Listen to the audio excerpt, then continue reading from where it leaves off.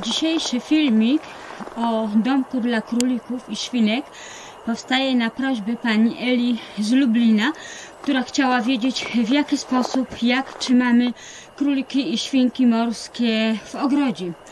E, Tutaj jest drewniany domek dla dzieci. I pod tym drewnianym domkiem postanowiliśmy zrobić domek dla królików i świnek oraz zagrodę, tak aby e, świnki i króliki nie wychodziły do ogrodu, bo gdyby wychodziły, to wówczas, e, no niestety z zielonych roślin niewiele by zostało. Pod tarasem domku dla dzieci znajduje się domek dla królików i świnek. Jest to y, prawie, no może na całości tarasu to nie, ale większą część zajmuje ten domek. Jest to domek ocieplony. Y, Świnki, króliczki mogą sobie tutaj w zagrodzie biegać z każdej strony. Ja gdy przynoszę im jedzenie, to wsypuję właśnie nie do środka, tylko tutaj na zewnątrz, dlatego żeby y, swoje bobki zostawiały w zagrodzie. Królikom dzisiaj jest minus 13 stopni i zauważyłam, że mm, królikom taka temperatura nie przeszkadza. One cały czas wychodzą. Y, W domku jest mały otwór, taki, żeby tylko króliki się przecisnęły. Nie jest on zamykany, on jest otwarty, więc króliki mogą sobie wychodzić ze świnkami i w dzień, i w nocy. Natomiast jak zachowują się świnki na taką mroźną pogodę? Wychodzą zjeść, mają się dobrze, są zdrowe, ale jak tylko zjedzą, zaraz uciekają do swojej budki. O budce zaraz tutaj Państwu powiem. Przede wszystkim jest to budka bardzo solidnie ocieplona. Ma wylewkę zrobioną. Wylewka również jest y, ocieplona mm, styropianem takim do wylewek twardych. Nawet tutaj widać taki niebieskawy styropian, ponieważ y, króliki bardzo kopią i troszeczkę odkopały. U góry ma zrobiony drewniany dach. Dach jest obity papą i jest jeszcze oczywiście jeszcze tarasik y, drewnianego domku. Ale zaraz pokażę szczegóły. Tak wygląda budka dla królików i świnek. Jest tutaj e, druga budka. Za tą płytą OSB jest deseczka, żeby mogły sobie wchodzić. Jest bardzo maleńki otwór, tak żeby mogły też tylko ledwo przycisnąć się, ponieważ to jest taka budka jakby zimowa. Teraz spróbuję otworzyć. Tutaj jest druga budka. Ona jest otwierana, zamykana. I tutaj jest pięterko i parter. I tutaj, gdy jest chłodniej, y, uciekają króliki i świnki. Ja zaraz nasypię im świeżego sianka, bo akurat ściółkę wymieniłam. Natomiast co z taką ściółką brudną czy bobkami królikimi? Proszę Państwa, świetny nawóz do ogrodu dla roślin. Można sobie bobki zalać wodą i zrobić sobie taką gnojówkę. Jest naprawdę bardzo dużo sposobów na wykorzystanie. Teraz nakładę tutaj bardzo dużo sianka, zarówno do tej małej budki, jak i do tej yy, dużej, ale to za chwilę, bo tutaj muszę też na pięterko im poupychać, tak żeby miało tego siana naprawdę dużo i żeby mogły po prostu przetrwać yy, ten trudny zimowy czas mrozy na zewnątrz tak naprawdę przecież w ogrodzie cała budka, domek są bardzo ocieplone. Wszystkie ściany, y, sufit, wszystko jest ocieplone styropianem. W środku jest styropian, na zewnątrz są płyty OSB w środku, a oprócz tego budka jest jeszcze obita drewnianymi deskami. O, one już czekają, bo one nie tylko, że lubią buszować w tym ale również lubią jeść, zwłaszcza jak jest takie sianko, y, które mam z koszenia trawnika. Ten trawnik koszę dopiero pierwszy raz w czerwcu, ponieważ rosną tam krokusy i gdy krokusy zaschną, dopiero trawnik można kosić i one uwielbiają takie sianko właśnie. Ja sianka nakładam im w zimowy czas naprawdę bardzo dużo. Y, Ja, jak na przykład zapowiadają przez dłuższy czas y, spadki temperatury, to przychodzę tutaj i nie zawsze im czyszczę, bo jak mają w miarę czysto, to tylko dokładam dużo siana, żeby po prostu miały bardzo tutaj cieplutko, wysoko, żeby mogły się schować, żeby mogły się ogrzać. Zrobić szybko, żeby im tej budki nie wychłodzić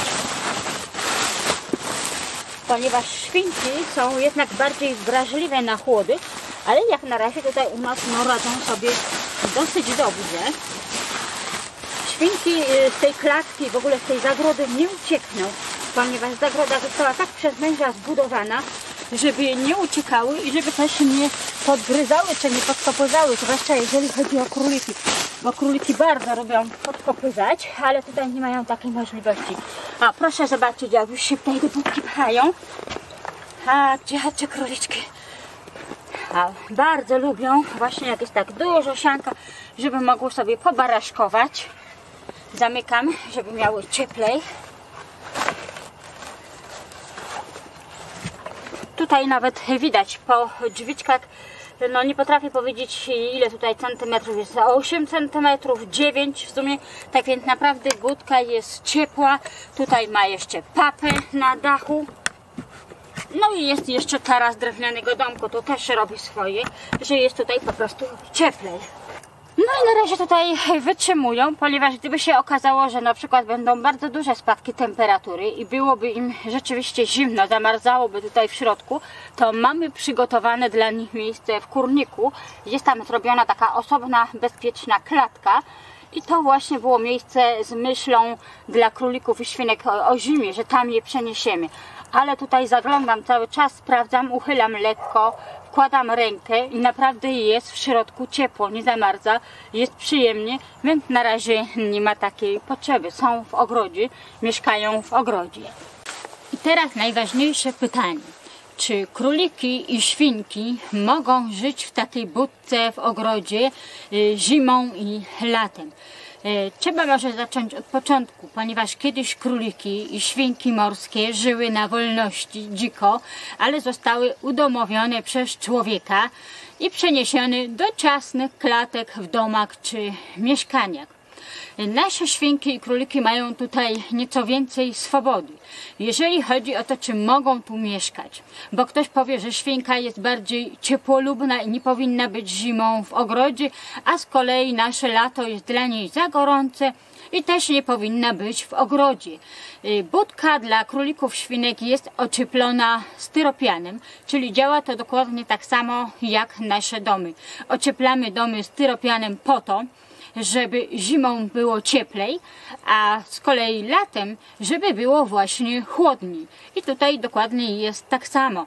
Spotkałam się z wieloma głosami, że króliki i świnki morskie nie powinny mieszkać razem, ponieważ są to dwa odrębne gatunki i mogą sobie przeszkadzać. Mm, Być może, tu na pewno jest prawda, zdania jak w każdej kwestii są bardzo mocno podzielone. Jedni mówią mogą, inni mówią absolutnie nie mogą. E, chociażby z wielu różnych powodów, ale pierwszy jest taki, że są to właśnie dwa różne gatunki. Ja y, już tutaj nawet nie powołuję się na to, że w sklepach ogrodniczych jest to nagminne zjawisko, że są razem, bo można to oczywiście wytłumaczyć brakiem wiedzy u pracowników. E, Natomiast e, spotkałam u wielu znajomych, m, że właśnie świnki były razem z królikami i żyły bardzo zgodnie i bardzo długo. Nie wiem jak tutaj długo u nas będą żyły. Są rzeczywiście razem dwa lata. I ja absolutnie nie zauważyłam, aby króliki atakowały e, świnki, bo świnki są mniejsze, no i oczywiście króliki mają zęby dużo większe. Ale może to też dlatego, że zarówno króliki są dwa, jak i świnki też są dwie. E, Czyli każdy z tych gatunków ma tutaj swoją parę. Nasza świnka miała już nawet małe świnki i absolutnie króliki nie zrobiły im żadnej krzywdy. Świnki rozdaliśmy i zostały tutaj bezpiecznie, nic się im tutaj nie działo.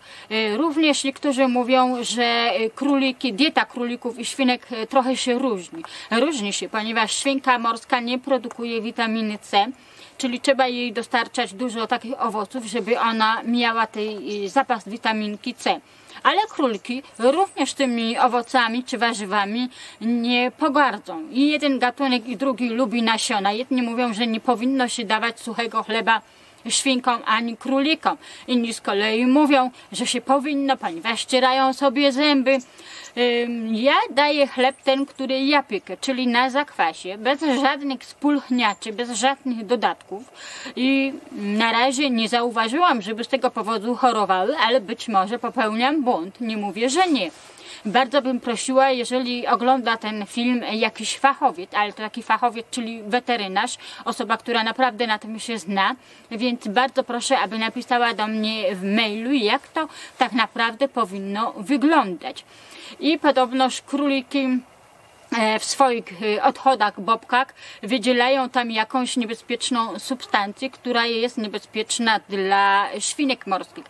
Rzeczywiście króliki załatwiają swoje potrzeby na zewnątrz, natomiast świnki morskie różnie, w zależności od pogody. Jeżeli jest bardzo zimno, no to załatwiają te potrzeby po prostu w klatce, którą ja czyszczę i oczywiście uzupełniam sianem.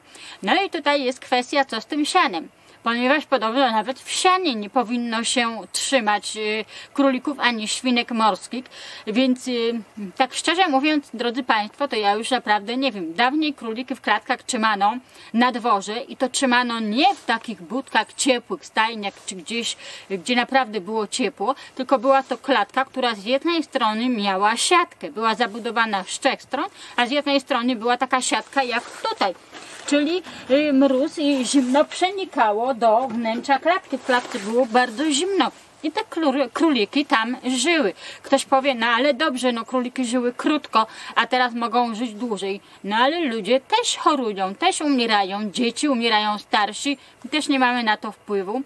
I teraz nie wiem, czy rzeczywiście należałoby króliki i świnki morskie oddzielić, czy może zostawić je e, tak jak teraz tutaj żyją, przyzwyczaiły się, są zgodne, nie robią sobie krzywdy, nie chorują, więc nie wiem, dlatego bardzo proszę o pomoc w tej kwestii e, fachowca, weterynarza, jeżeli trzeba będzie świnki i króliki E, oddzielić, e, to rzeczywiście mamy też taką możliwość, że możemy tutaj tą budkę i tą zagrodę po prostu podzielić na dwie części. Jedna będzie dla świnek, a druga dla, dla królików.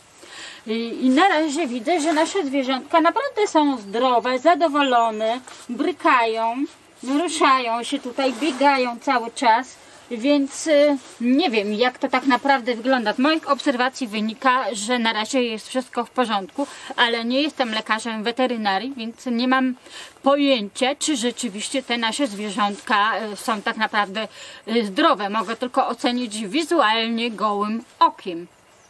Jeżeli ktoś rzeczywiście posiada jakąś głębszą wiedzę, to jeszcze raz bardzo proszę, aby mnie o tym e, poinformował i przekazał, podzielił się ze mną tą wiedzą, co należy teraz zrobić.